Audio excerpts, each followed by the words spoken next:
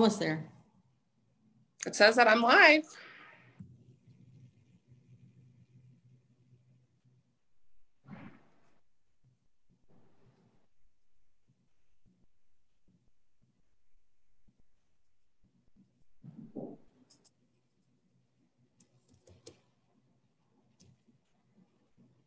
It's showing live on my end. Now it says it's live on my end too. Away we go. Good morning, everyone. This is Connie Haworth. I'm the executive director here at St. Anthony's Senior, Senior Living, and I'm in one of our beautiful model apartments this morning. And I'm going to be visiting with Keri Morgenson from Empower Me. Keri, thank you so much for joining us and welcome. Thank you. Thanks for having me on this morning. Yeah, tell us about EmpowerMe Wellness.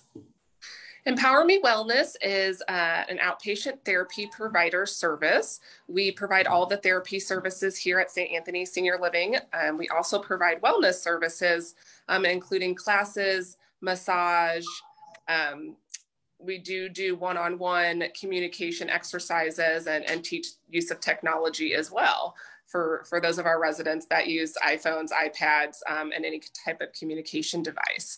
So EmpowerMe has um, about six therapists that are on site daily um, to do one-on-one services or um, to host the complimentary classes for the residents here at St. Anthony's. What kind of complimentary classes do you do? So we teach a balance class, Tai Chi class, yoga, and then for the memory care residents, we do teach a cognitive communication class that typically includes an integrative uh, craft activity. Nice, nice. Tai Chi and yoga, that sounds great. And massage, I heard you I heard you say that too. Yes, and our uh, therapists are certified um, through Silver Sneakers. So that is a wonderful program. Um, and we that do is a great program. choreography for the yoga and Tai Chi as well. Now, how long have you been an occupational therapist, Keri? So I graduated from OT school in 2009. So this is year 11, um, and I love it. I, I, definitely the right career for me, for sure. Have you have you always worked with seniors? I haven't. No, I actually started out um, with pediatrics in the school setting, and uh, transitioned over to acute care in uh, the hospital setting, um, and about year three found my way into senior living and fell in love and i'm still here. It has a way of getting into our hearts doesn't it? It sure does definitely definitely. So what is occupational therapy? Describe it for us.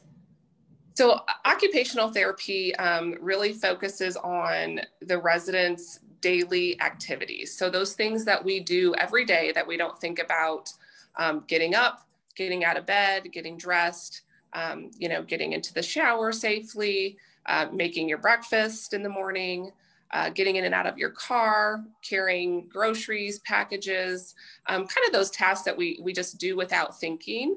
Um, and sometimes, you know, as we're getting older or for seniors, um, if you have a condition that limits your, you to do those things either by yourself or safely, occupational therapy comes in and kind of assesses what's going on and can make recommendations for either additional equipment um, or can work on some of those skills to make the, resident more independent with some of those basic tasks. So our goal really is to keep folks um, independent and you know make sure that they can do all of those things safely day to day.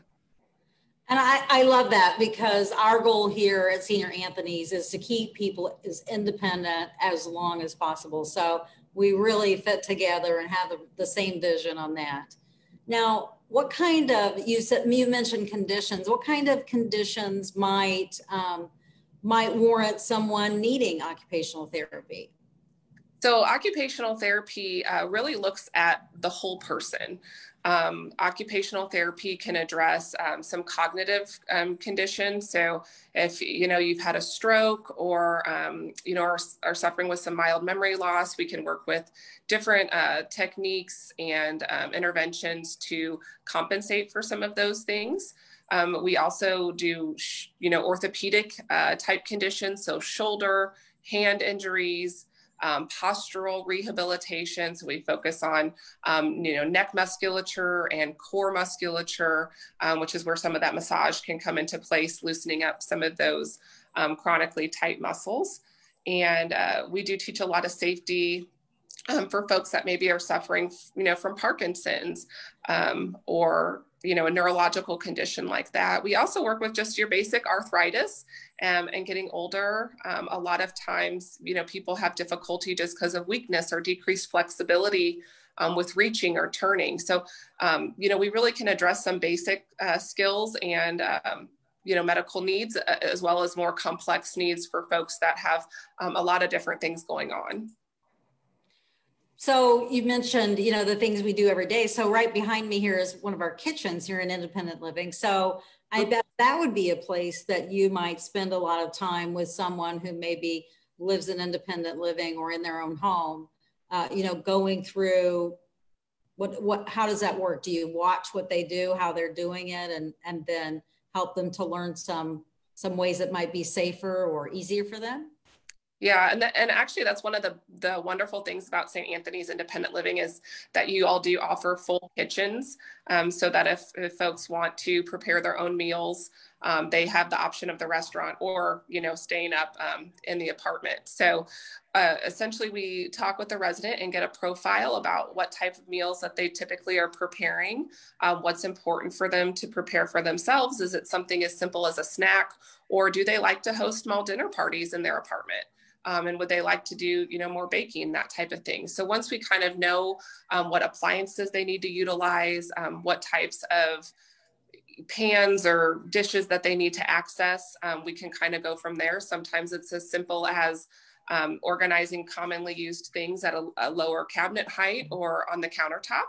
Um, and sometimes we actually can adapt the appliances to make them easier to turn on or turn off or set alarms to help you know the resident re- remind them where they are in, in the sequencing depending on you know how complex the meal is.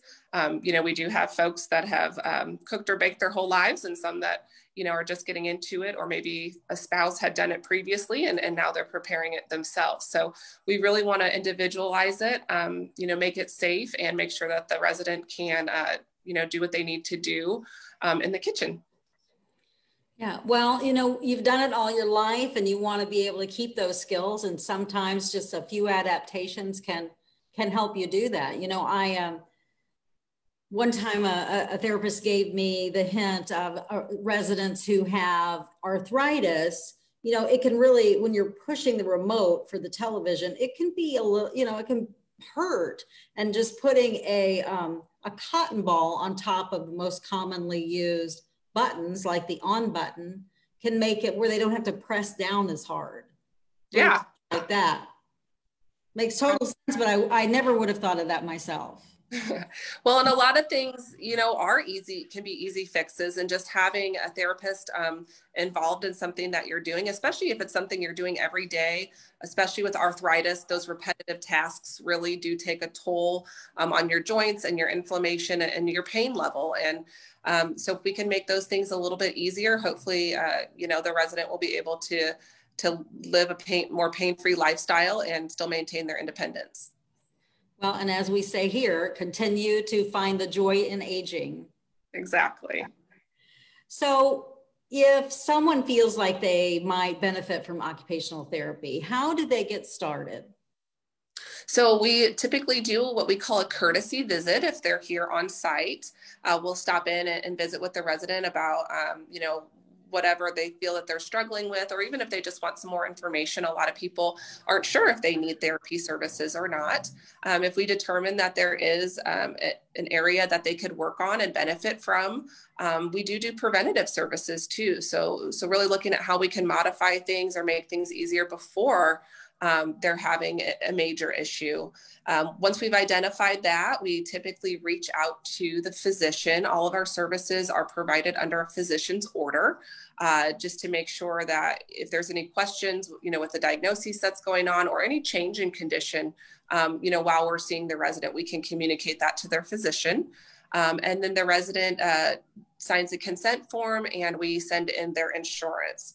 So all of our one-on-one services are covered by most of the primary commercial and Medicare insurance plans. Um, which is wonderful benefit for the residents.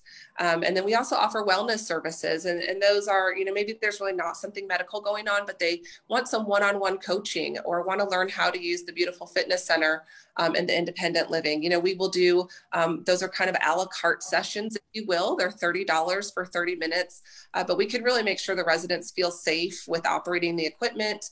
Um, and, and, make sure that they have a coach there, you know, if they want someone to progress. So uh, we do have obviously the one-on-one services that are under the physician's order and um, run through the insurance, and then we do have the wellness services um, that are really more like a, a personal training or a coaching type service. Fantastic. Well, uh, thank you so much for sharing with us this morning, Keri. Is there anything that I forgot to ask about when it comes to occupational therapy? Um, I don't think so. You know, uh, one of the other things I would mention is we do coordinate equipment. So um, if there are modifications needed or um, additional uh, equipment to assist with mobility or positioning, um, our OTs will directly work with the insurance companies to make sure that the residents have what they need. Um, and we, you know, really do all the measuring and identify si sizing and that type of thing as well. So um, our clinicians are experts in that. You are experts because sometimes we call on you and ask you where the best place would be for a grab bar. exactly. That's probably the most common question, but we do right. um, you know have a lot of other other small things um, that we can get ordered and coordinated very quickly um, so that folks can get back to their daily lives. Yeah. All right. Well, thank you so much, Keri, for being with us. I've really enjoyed our discussion, and uh, I just want to wish everyone a Merry Christmas. It's coming up. I hope you're getting your shopping done. And it looks like tomorrow it's going to be snowing. So uh, be careful out there and uh, have a wonderful and joyous day, everyone. Wonderful. Thanks. Thank you.